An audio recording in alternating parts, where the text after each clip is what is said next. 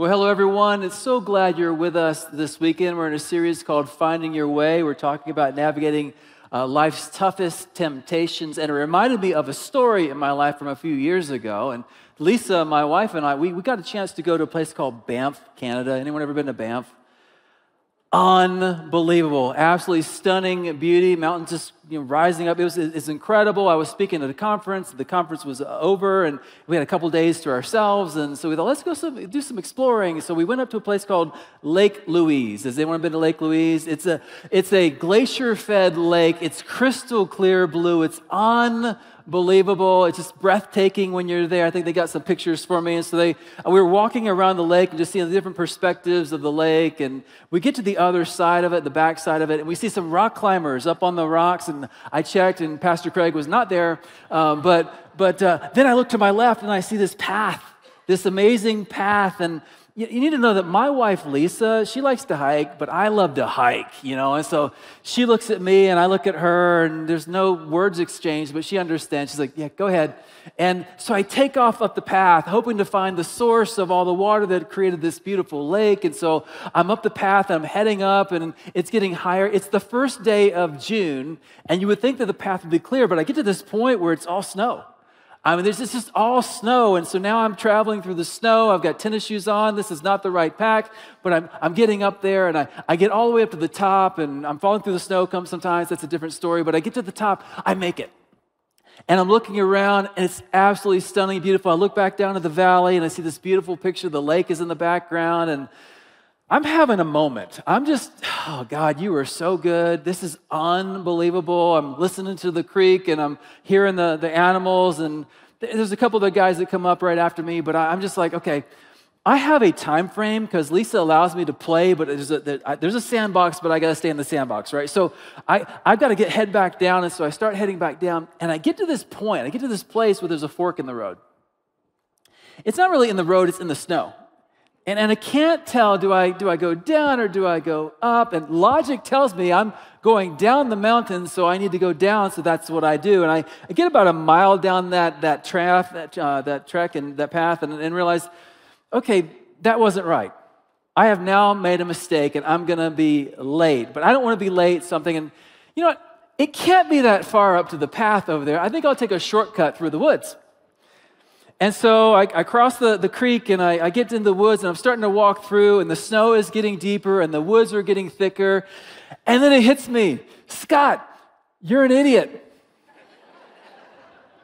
There are bears and wolves and lynx in these in these woods. They warned us the sign at the beginning said be careful you know? And so I'm like you need to go back and backtrack and go back to the right path. And so i backtrack across the creek and i'm climbing up but now the sun's starting to go down. Everything's turning to ice and i've got tennis shoes on. This is no good but i, I make it to the top and then I, I scurry back to the to the end. And, and there's lisa where the rock climbers used to be. They're not there anymore. And she's like hi Tell me what happened. And I told her what happened, and, and she understood. I mean, yes, she did increase our life insurance significantly, but she, but she understood. She understood, and you know, this is just her husband. And, and what I learned from that story is this the, the path that you take, it matters. The path you take matters. Hey, join me in Matthew chapter 7, verse 13. We've been walking through the Sermon on the Mount, and God has taught us so many good things. We, we began with the, the character that catches God's eye, and then we talked about the difference between true spirituality and, and false spirituality, and that, the bar of, of spiritual life, the bar of, right, the bar of righteousness, is much higher than religious leaders of Jesus' time or religious leaders of our time. There's something more going on here. We get into chapter six, we're talking about how motives, motives matter. It's not what you do, it's, it's why you do what you do that matters just as much. And then we get into chapter seven, and we're, we're walking through, uh, the, the, you know, hey, be careful how you judge other people because there's a, there's a standard that you use. It's going to be measured to you in return, and so be careful about those things. Not that you don't judge, but be careful how you judge. And then last week, Craig reminded us listen, God doesn't give us stuff because we're good, He gives us stuff because He's good. And so here we are in verse 13, and all of a sudden, the whole landscape changes. Everything is different from this point on. We're, we're going from, from uh, discussion to decision from how we behave to what we believe, how we live with people to how we live for God. And, and so everything changes in this moment. So let's pick it up in verse 13 of chapter 7. Here's what it says Enter through the narrow gate, for wide is the gate and broad is the road that leads to destruction, and many enter through it. But small is the gate and narrow is the road that leads to life, and only a few find it. What we have in this verse is four comparisons. There's two gates and two roads and two crowds and two destinations. And what we see is these extremes that Jesus is using. He's asking us to consider what we're, what we're going to do at this point in time. There's, there's extremes. There's, a, uh, there's a, a wide gate and a small gate, a broad road and a narrow road. A lot of people and very few people, and there's destruction and there's, and there's life. And, and you know things are changing at this verse because for the rest of the sermon, everything's in twos. It's like Noah, everything is in twos. There are two prophets, there are two trees. There are two types of fruit, there are two types of people, there are two builders, two foundations, two results. And what Jesus is calling us to in this moment is a choice. He's saying now is the time to decide what you really believe and how that ripples into how you behave. What do you believe about me and what I have said in this sermon so far? You know, it's not unusual for the people of God to be called to decision. It, it's not. It's uh, and decisions where there's only two options. It's not. It's not unusual. Think about for a second. Back to the time of, of Moses and they're getting out of Egypt and they get to the edge of the promised land and he sends 12 spies into the land and they come back and say, Yep, the land is definitely fruitful. It's amazing. But 10 of them, 10 of the 12 spies say, but there's, but there's giants there. We like, we're like grasshoppers in their side and honestly in our own side. And there's two of them that say, no, no, no. God promised us. God has led us to this point. He's going to keep leading us. We should trust God. But, but you know in life that the majority is always right. So they go with the 10 and they don't listen to God. And the result is God puts them on a path and they're wandering around the desert for 40 years. And the older generation who wouldn't believe God dies out. And they're hoping that the younger generation will believe God. And then we get to the place and they're right beside the promised land again in Deuteronomy chapter 30, verse, verse 15. And Moses says this, speaking for God. He says, I have set before you today life and prosperity, death and destruction. Does that sound familiar? To the narrow road. It's the same, same kind of same kind of thing. And then the next book, the book of Joshua, Joshua, they've, they've gone into the land, they've, they've, they've conquered the, the land, and they haven't really obeyed God completely, but somewhat. And so they're at the end of Joshua's life, and Joshua's like, no, no, no, no, no, no, no. Let me just have one more conversation before I go. He says this, and you probably have this on a pillow or on, you've got it tattooed. This is Denver, we can tattoo, right? So you have a tattoo, you have something on a, on a screen or whatever, but you, it says this Choose for yourself this day whom you will serve. And Joshua says, But as for me and my house, we will serve the Lord. Chapter 24, verse 15. Or, or later on in the life of, of Israel, they're at a place where they've gone through the judges and now they got the kings, and Elijah is a prophet of God, and, and, and all the people of God have kind of fallen away, and he feels like he's all alone, and he's now battling against against 400 prophets of Baal and 450 prophets of Asherah, and they're, they're, they're, they're arguing, and he's talking to the crowd, and he, and he says this How long will you waver between two opinions? If the Lord is God, follow him. And if Baal is God, follow him. There's no wiggle room. It's yes or no, in or out, black or white, with me or against me. It, it sounds like an absolute, and I gotta be honest, that we Americans, we hate absolutes. We just, we just hate them. We like options. That's why we like Cheesecake Factory because we like options. 27 pages with 15 options on each page. It's wonderful, you know, and everything on every page looks so good and is so bad for you. It's just great. We, we love that. And like, I, I don't know what to choose. It doesn't matter. Just you can be here for 746 times. You'll still get something different. It'll be awesome. We love options. That, okay, that, that's why we like Amazon. Because you go to the store and they're like, well, which one do you want? Do you want the black one or the black one. But you go on Amazon, you got all these different options. It's so good. You get it mailed to you and it's free and all that sort of stuff. It's, it's, it's awesome. That's why we like Denver, because Denver's a metropolitan area. They have everything you could possibly want except a beach, but beach is overrated, but they have everything else. You know, and it's like, oh, I love living in Denver. I got so many choices of restaurants and places to go and things to do. And it's just, it's amazing. That's why we like Netflix. Let's just admit it. I'm in the movie theater, you got five choices in the movie theater, but Netflix, you have thousands of choices. Now, we have to admit it's not enough for us, which is why we have Prime Video as well, and Hulu, and, and Hulu and Disney, and YouTube, and all the other. But, but, but listen, we love options. We hate ultimatums because ultimatums make us feel like we're not in control. And we like to be in control. But here we're talking about not just this life, but the life to come. We, we don't be in control in this life, but in the life to come, we think, well, why can't we be in control of that too? I mean, why can't we come up with our own truth? I mean, let's find our truth, live our truth, speak our truth, like truth is something that comes from us. Let's set our own agenda. Let's, let's create our own path. Let's do our own thing. And, and if we make a mistake, you know, in life you make a mistake, and, you know, whatever doesn't kill us makes us stronger, and everyone makes mistakes, and we should be okay with those kind of things. We can just kind of call a mulligan, or you know, phone a friend, or you know, get a get out of jail free card, right? We can just do that kind of stuff in, in this life, so why not in the life to come, right? But what if we're wrong? What if in the most important things in life, there really are only two options? What, if the stakes are higher than we ever understood? And the decisions we make are irreversible, and the consequences are irrevocable. And you're thinking, I am so glad that Craig brought this guy in. He's such a happy guy, you know? Listen, this is real stuff. This is real thing. Now, in this, in this passage, what we see is something in play called the principle of the path. The principle of the, of the path. And I'm going to give you four parts to this principle, three of them right now and one a little bit later. But uh, I just want you, if you're taking notes, this is where you start to take notes right here because these are things to think about. So, uh, principle number one, part number one everyone is on a path. Everyone is on the path. Every, every, every breath you take, every step you make, you know, Sting doesn't know anything, but he knows this. Uh, he, he, God's watching you, you know, so you, you, you're on a path, you're, you're taking steps. And every, listen, life is not random.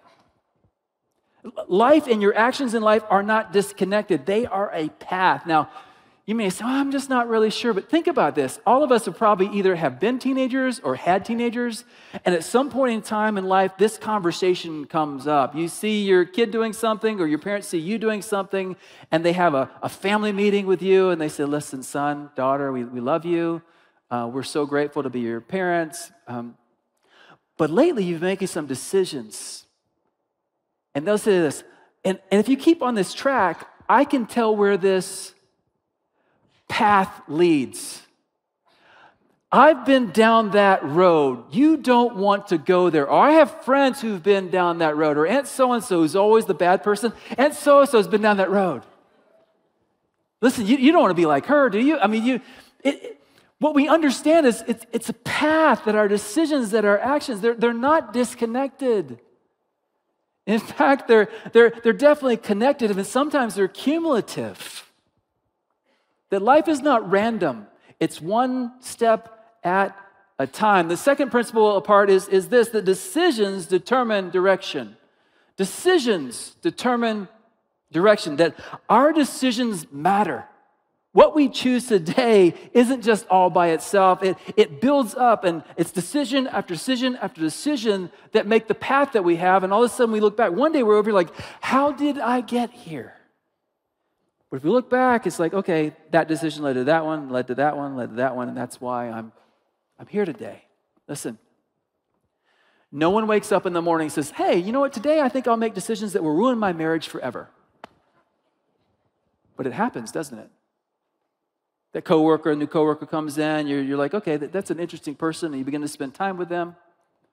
You begin to have lunches together and you begin to see your feelings kind of go that direction, but you don't tell this person over here, whether it's your spouse or your boyfriend or your girlfriend, because you know, we're as sick as our secrets, but we don't we don't we think we can handle this and we're just we're fine and we don't say anything, but we continue on this path and we take another step, another decision, another decision, another decision, and one day we're we're cheating.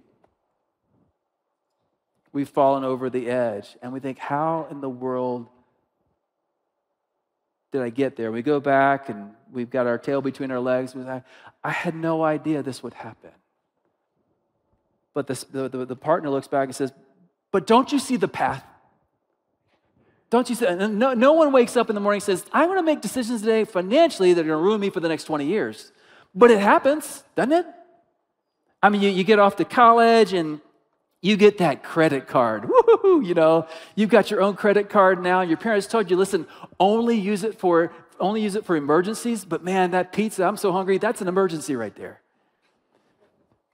And those pants, I got to have those pants, those boots. I got to have, I got to have that trip. And we're just maxing out the credit card. And you're like, oh no, I maxed it out. But the good news is there are other credit card companies out there will also give you one. And so you get another credit card and you max that one out. But, but now you're starting to move forward in life. You're trying to mature. And, but now you're getting married and, and, and she brings debt into the relationship and you bring debt into the relationship. And all of a sudden, it's like, how did we get here? I didn't see this one coming. And everyone else is like, you don't see the path?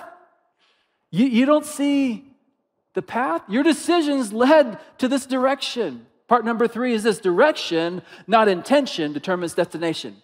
Direction, not intention, determines destination. We love to, to talk about our intentions. We all have lots of good intentions. I really meant to call you.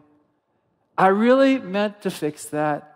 I really meant to exercise. I really meant to save. I really meant to. And oh, the goodness of my heart. You need to understand the goodness of my heart. But here, here's the thing, okay? Good intentions are no good. Good intentions get us nowhere. Yes, we can give people the benefit of the doubt, but when it comes to intention, intention doesn't matter. What matters is not intention, but attention. Because what has our attention has our action. And so we, we have to look at, uh, recognize that when we, when we have a direction, not intention, it determines destination. The direction we're going matters. We got to stop and look and say, okay, is this the direction that I really want to go? Okay. We're in Denver, and let's say we want to go to Kansas City. And so we get on I 70 west. Now, for you directionally challenged people, Kansas City is not west, it's, it's east. We can go as long as we want to in this direction, but it's direction, not intention. We intended to go to Kansas City. We, we may want to go to Albuquerque, but if we get on 25 north, we're not getting there because Albuquerque is south. Now, we may get to Banff, which is a whole lot nicer than Albuquerque, but the point is, and if you're from Albuquerque, don't, don't, I mean, listen, my, if you want to complain about that, then my email is uh, craig at missionhills.org. But, you know, so, so listen, it's direction, not intention, that determines destination. Life is a path. Our decisions matter. We need to stop and look at our direction and say, if I continue on this path, where will I end up? Let's go back to Jesus, and he's talking about these two paths, these, this wide path and this narrow path. Now, we all know what the wide path is, don't we? The wide path is the way of the world. The wide path is life without God. The wide path is the one that, the, that, the, that society is heading toward. As I thought about the wide path, I wrote down here's all the descriptions of the wide path that I've heard, not all of them, but many of them. It's the go with the flow path. It's the everybody's doing it path. It's the lookout for number one path. It's the instant gratification path. It's the if it feels good, do it path. Back in the 70s, they used to put stickers on bumpers of cars, and one of them was this if it feels good, do it. Does anyone remember that? If it feels good, do it. Now, if that bumper sticker was actually here today, I have a plan. I know exactly what I would do. If I see a car with a bumper sticker that says, if it feels good, do it, I'm going to get back behind it. I'm going to hit that gas pedal and boom. And they're going to get out of the car and come to me and say, What were you thinking? I'm like, I was just taking your advice. That felt great, you know? So it makes no sense, but that's what we do. In the, in the wide path, we think that we are the master of our soul. We are the master of our destiny. So I can live however I want. I can treat people however I want. I can approach God however I want because all roads lead to God, right? That's the wide path. Now, here's the thing the wide path has a nasty tendency to overpromise and underdeliver. We think we're going to find fulfillment and joy and peace and purpose and meaning in this, in this wide path. But we're almost always, if not always, and always eventually disappointed with the wide path. So there's a pastor in Jacksonville, Florida. His name is Joby Martin. Joby talks about the, the dog racetracks that they have in Jacksonville. Now, I'm not condoning the racetrack, and neither was Joby, but, but again, if you want to complain, it's craig at missionhills.org. So, um, but but but he would he said a friend actually took him to them. He said, I gotta see this. I gotta see what this is. And so they go to the racetrack and he looks down. The track's bigger than he thought. And all the dogs are over here, and they're, they're kind of kenneled, and, but they're playing with each other, they're having fun, they're, they, they like each other, but they're, they're kind of squirrely. And all of a sudden, the announcer says, Here's Rusty. And Rusty is this mechanical rabbit and they put the mechanical rabbit out in front of the gate and they, they just the dogs are going nuts they're in a frenzy because they got to catch the rabbit and next thing you know the gate goes down and the rabbit takes off and the dogs take off and, and they're about to catch it when the rabbit ends the race and goes back into, into hiding. And the dogs are just sitting there you know just wondering what happened. And, and you know one of the dogs won the race and people bet on it and all that sort of stuff. The dogs are like what happened to the rabbit? I really wanted the rabbit Good news is the next day, guess what happens? The dogs are all together. Here's Rusty. You know, Rusty shows up, gate goes down, they chase him around. And this happens day after day, week after week, month after month. And they keep wanting the rabbit. If I just had the rabbit, life would be full if I have the rabbit. Now, eventually, the dogs actually catch the rabbit because the mechanical arm fails and they catch the rabbit. You know what they say? Those, those dogs never run well again because they caught the rabbit and it wasn't what they thought. Here's my question What rabbit are you chasing? What's the rabbit that you think if I just catch it, that's going to be fulfillment? That's going to give me my identity, my purpose, my meaning, my happiness. It could be career, it could be another person, it could be a position, it could be power, it could be fame, it could be a lifestyle, it could be any one of those things. I'm just going to tell you that all those things are like ladders that are leaning against the wrong wall. Climb up to the top and you'll see that is that it? That's the that's the wide path. over promise, under deliver. But there's another path. It's the it's the narrow path. It's the Jesus path. And the narrow path is definitely countercultural. It says few find it. That's because few are looking for it. They're all looking at the wide road. They're always looking at the wide path, thinking that is the way to life, but it turns out not to be.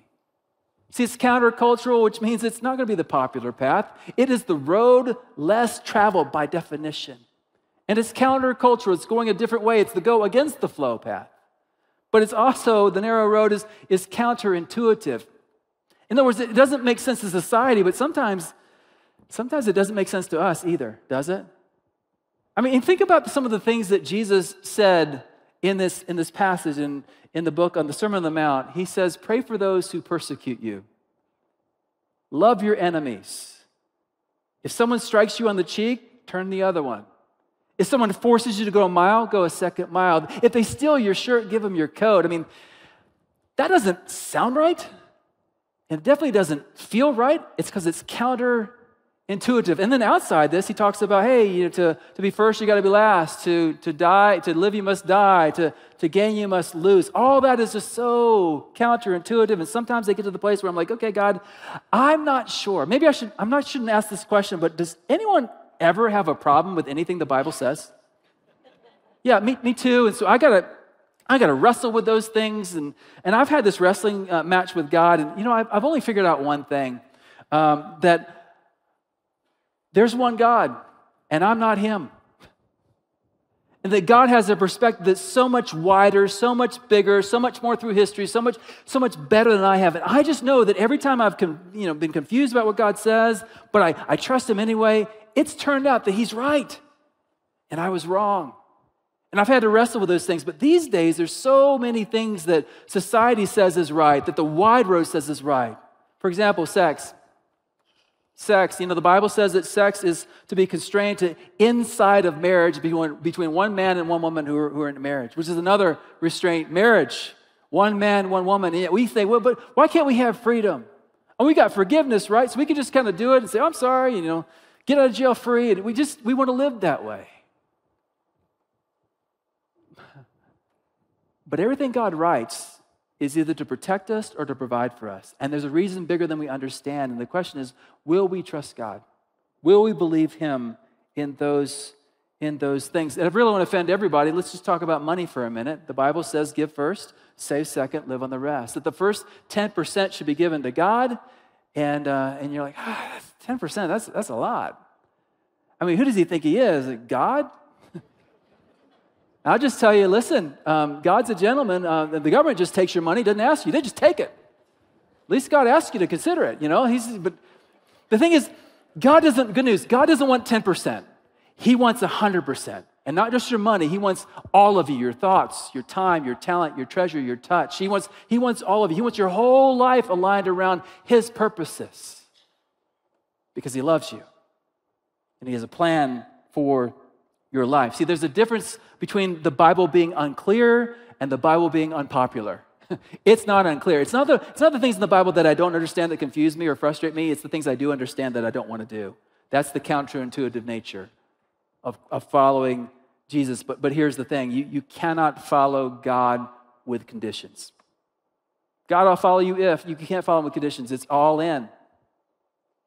It's, it's either all in or, or it's all or nothing. It's in or out.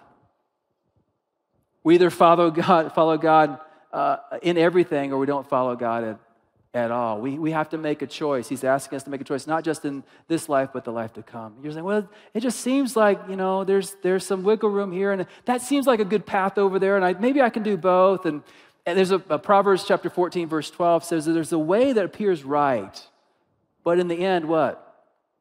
It leads, it leads to death. We have to trust God without conditions in our life. How we live today should be determined by what we believe about tomorrow. So I just want to take a minute. I want you to see a verse. This is how it explains this idea of the, of the wide path and the narrow path better than any other. It's Romans chapter 6, verse 23.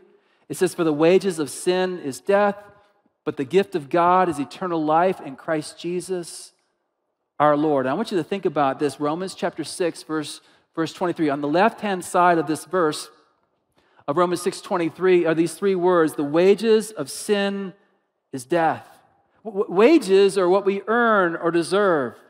Sin is what we've done, and sin is it's an archery term. If you're shooting at the perfect middle, eh, they would measure it from the middle to where your arrow hit. They said you sinned by this much. It just means missing God's perfect mark in your life.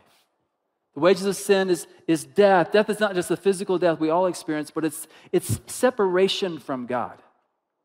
So, what we earn or deserve for missing God's perfect mark is separation from Him. And that, that's, that's difficult, but that's the wide road. We, we all have sinned, right? We, we've not hit God's mark perfectly. We've all missed the perfect mark, right? And we were all sinners in the room, right? We're all on this side. But the verse continues, and where there is bad news, there's, there's a but, and there's good news on the other side. And, and it says, But the gift of God is eternal life in Christ Jesus, our Lord. And so we have on the, on the other side, on the right side, is, is good news. This is all bad news. This is, this is good news. And the good news is there's a gift. The difference between a wage and a gift is we can't earn it, we don't deserve it, it's free. And the difference between sin and, and God is, is sin is missing God's perfect mark, but God is perfect. And He has a perfect love for you and for me. And that rather than having death, which is separation from God, the gift is this eternal life. It's, it's being with God forever. And yet we, we stand on this side and we're asking, how do we get over there? How do we get to God? And some people say, well, we, we, I, I work really hard, but do hardworking people sin? Yeah, so what do we deserve? Separation. How about religious people? Do religious people sin? When we know they do, so what do they deserve? Death. But, but the news is the, the, the verse isn't finished. It says, in Christ Jesus our Lord. So put in the middle this cross of Christ. In Christ Jesus, there's now a bridge Listen, the wages of sin is death. What did Jesus do? He died. And it's almost like we had a paycheck that said, a paycheck said, well, what you earned for what you did is you deserve death. And Jesus lived a perfect life, and what he earned was, was life. And he walked up to you and said, So do you want to switch paychecks? Like, what? Yeah, if, I'll give you life if you give me, I'll, I'll, I'll you know, I'll, I'll, you t- I'll take your sin and you take my righteousness. What do you think? If you just trust me, really? What do I need to do? No, just trust me. Believe I died for you. Trade paychecks with me. Do you see the difference between the two sides? On, on, the, on the first side, this is, this is trying. On the other side, it's trusting. On the first side, it's achieving. This is believing and receiving. This side is religion. This side is relationship. This side is works. This side is, is grace.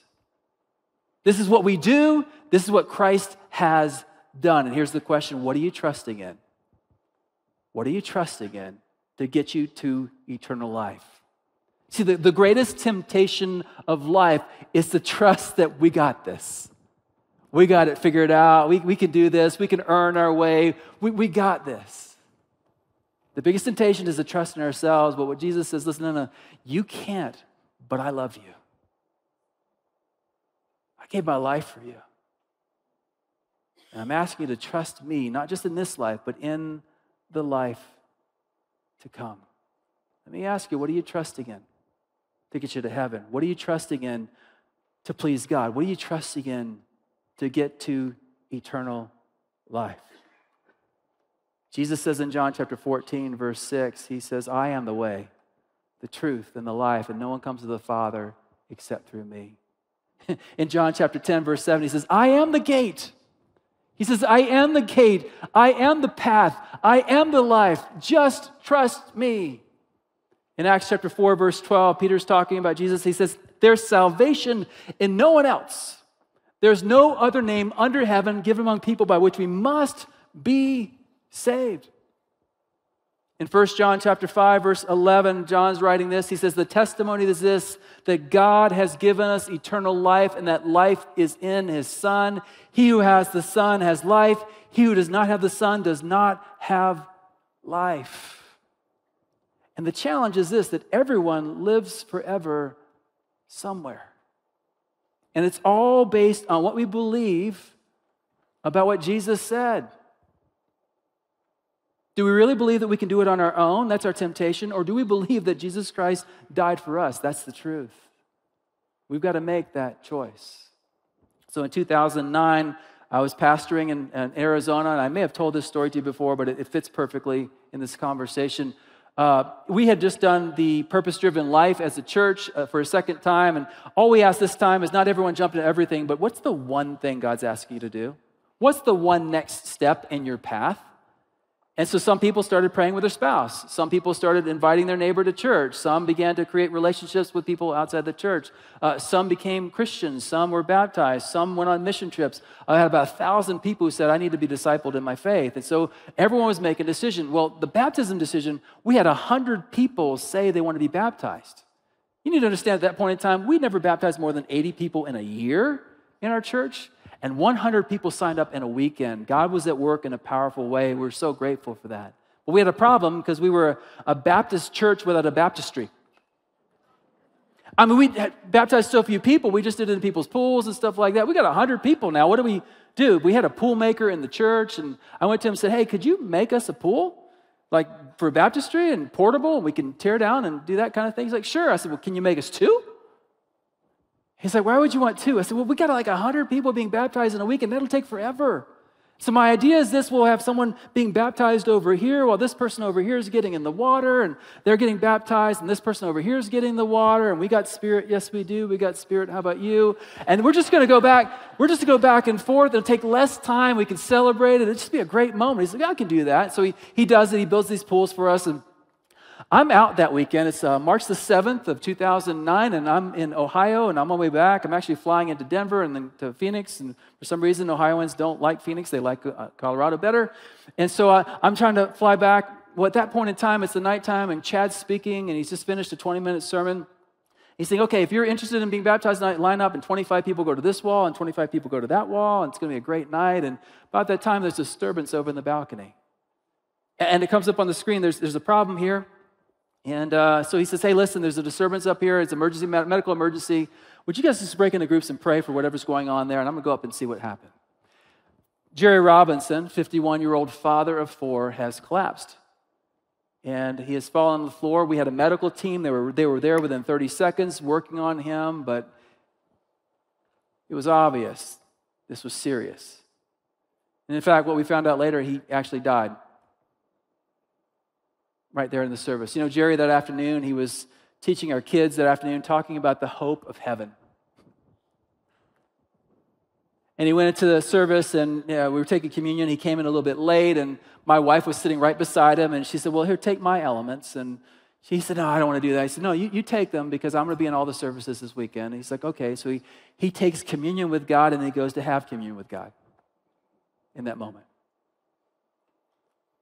So Chad's walking back up front, and the, the ambulance has been there, and they, they take him out. It's been about 20 minutes. People have been praying. People have been standing against the wall, 25 here, 25 there, and he walks up to the stage. And as he walks up, one of the other pastors puts his arm around him and says, What are you going to do? He said, I, I, I, don't know.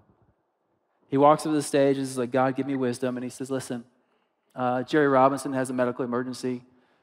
Um, I've known Jerry for years. I was a youth pastor in another church before I was here, and his kids grew up in my youth group. I know Jerry, I know his family. Listen, Jerry came here tonight. He came to celebrate God's goodness through baptism, and this is what Jerry wanted to do. I think it's what God wants us to do. So we're going to go ahead and do that. And he went to the band and said, Could you guys play like some, some soft music? And let, we'll do this. Uh, we'll just play soft music and let's just reverently uh, worship God and celebrate this. And so the music begins and they start baptizing over here and over here, and people start singing and they're raising their hands in worship.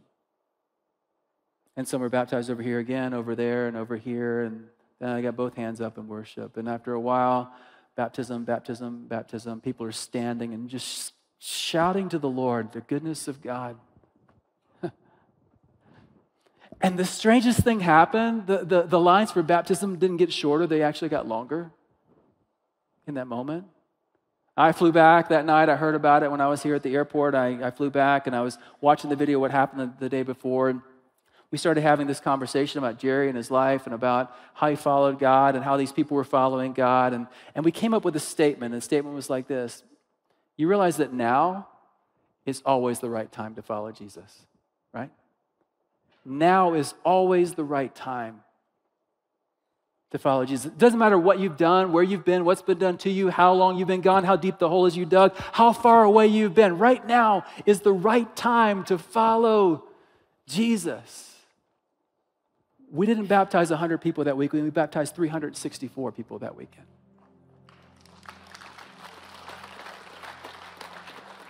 Because they understood they were on a path, and, and our decisions determine our direction. And what these people wanted to do, they wanted to follow God with all their heart and soul and mind and, and strength. And they were tired of chasing rabbits. And they wanted to chase God instead. And so I'm wondering today, Mission Hills, what about you? Now is always the right time to follow Jesus. So I'm wondering for those of you who are believers, maybe there's something that you're like, you're, you're trying to follow Jesus somewhat, but there's no such thing as somewhat obedient or somewhat following. We give our whole life.